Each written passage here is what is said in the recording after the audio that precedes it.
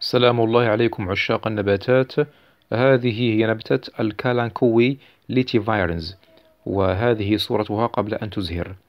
ال Kalanchoe laetivirens هي من النباتات وحيدة الإزهار أي أنها تموت بعد الإزهار. وهذه صورة أخرى قبل أن تزهر.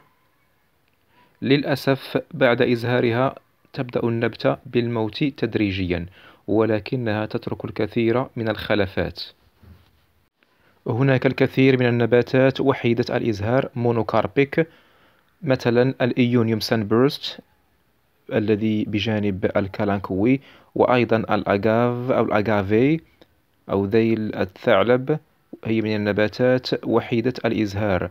وأيضا أم الآلاف أو فك التمساح وهي التي ترونها الآن. وهناك أيضا ال Echeveria أو ال Echeveria elegans هي أيضا وحيدة الإزهار.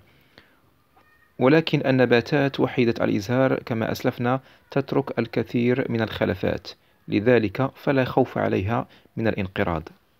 لذلك إذا أردتم الحفاظ على نبات وحيد الإزهار لمدة طويلة قوموا بقطع أزهاره.